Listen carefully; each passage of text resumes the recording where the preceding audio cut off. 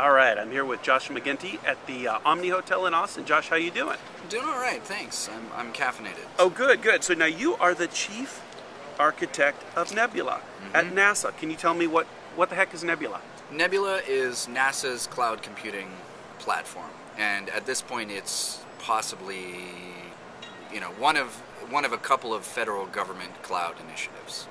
It, uh, it's infrastructure as a service primarily, although we have a prototype of platform as a service, and we have aspirations to offer various software as a service at some infinitely far point in the future. And how long has Nebula been around? Uh, the project started out called NASA.net about two years ago. It was originally uh, an effort to build a web application framework that NASA programs and projects could build on top of. And uh, as it progressed, it sort of morphed into into a cloud project, into an infrastructure as a service effort, particularly. Uh, I'd say it's been called Nebula and been mostly about infrastructure as a service since last summer. And so why a cloud? Why does NASA want a cloud? NASA has a very classic cloud, uh, cloud-like requirement in all of their IT projects in the sense that we build missions. We take five years building and designing a mission, and the mission maybe flies for six to 12 months, collects a ton of data, has a very short period of very intense public interest.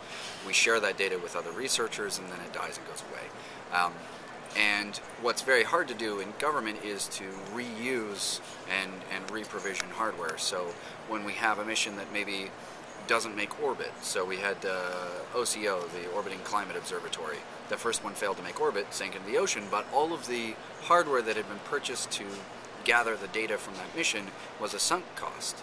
Um, we're also out of data centers. Uh, we have a lot of enterprise systems that run very low efficiency. We have a virtualization initiative that's separate, but uh, we have right now small clusters and larger supercomputers scattered all over the agency. So getting to a model where we share a pool of elastic resources is going to save a ton of money. And by a ton of money, I mean NASA spends $2 billion a year on IT. That's not chump change. Now, and the federal government as a whole spends 85 billion.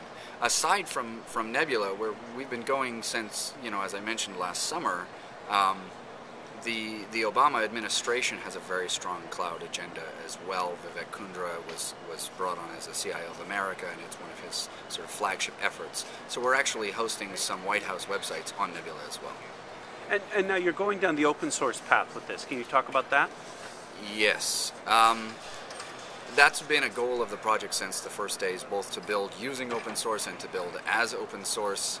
Uh, there are some other very successful open source projects inside NASA, but not a tremendous number of them compared to how much IT development we do. Uh, and it's mostly because it's historically been very hard to do open source release, even, let alone a real open development process inside a government agency. And so a lot of what the Nebula project is focused on is fighting those battles internally, getting legal review, getting approval to use, say, the Apache 2 license, which we only got approved a couple of weeks ago. Before that, folks had to use the NASA open source agreement, uh, which meant it was harder to get external collaborators involved. We also couldn't do continuous release. We had to just wait six to 12 months and throw a tar, ball over the wall. And so now you're here at the uh, OpenStack Design Summit. Can you tell us a little bit about what you're doing with OpenStack? Yeah, well, it turns out there are a, couple of major players working on open source cloud computing platforms at the same time, and uh, and we're sort of pooling efforts, which is really exciting. Uh, we have spent a lot of time putting together a pretty comprehensive uh, compute platform dealing with virtual machines and uh, and attached block devices, and on our roadmap was to build out a real object store, but we hadn't finished one yet. We were just in fact getting started on it and uh, and there's another big player in the space, Rackspace, who had just finished a really comprehensive object store that they were open source releasing, and they hadn't quite gotten started on the compute side. So this is a perfect opportunity for us to to use their cloud file solution for them to jump on board the the Nebula code base, which has recently become accessible to them. Uh, it's as as Vish joked last night at dinner. I don't know if you made it there. People were comparing it to a wedding or a marriage, and he said, you know think of it this way you're not you're not losing a code base you're gaining developers I like it. I like it. And with that, Josh McKenty, thank you so much. my pleasure